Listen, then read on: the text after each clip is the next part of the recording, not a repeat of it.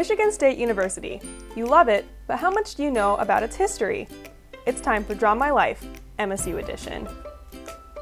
MSU, or the Agricultural College of the State of Michigan, as it was originally called, was founded on February 12, 1855, as the nation's pioneer land grant college.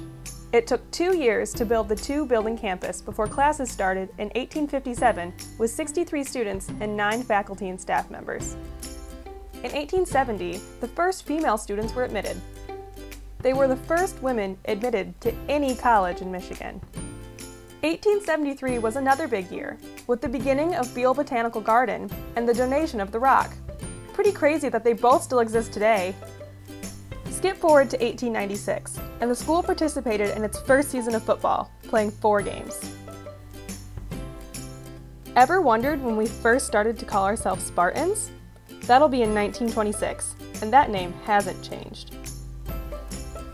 On June 22, 1929, Beaumont Tower was dedicated.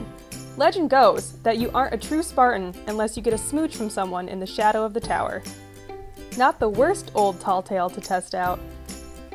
Anyway, in 1941, John Hannah, MSU's longest serving president, started his presidency.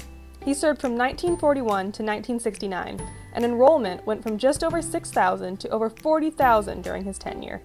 Here's just a few of the awesome things that happened during Hannah's presidency. The Spartan statue was dedicated in June of 1945. In 1949, the school was added to the Big Ten Conference.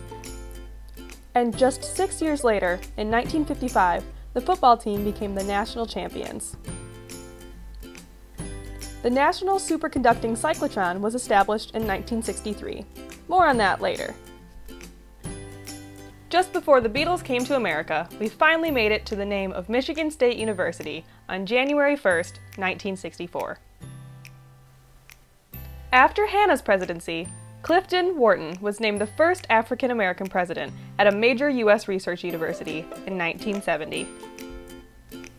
Skip forward to the 21st century, and Lou Anna K. Simon was named the first female president of MSU.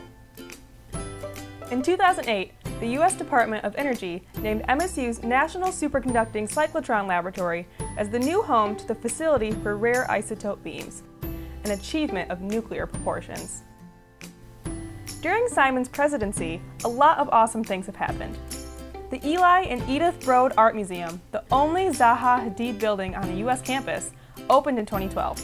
Remember when the gigantic Hollywood blockbuster Batman v Superman filmed here? Yeah, that was cool.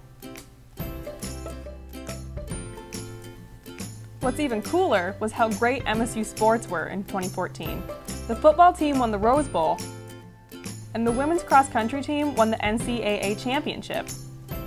Just a month after the Rose Bowl, President Obama visited campus to sign the Farm Bill. MSU was chosen because of our strong agricultural roots. So that brings us to today. MSU enrollment stands at over 50,000 students from all counties in Michigan, all 50 states, and more than 138 countries. Spartans have made impacts all over the world for more than 160 years.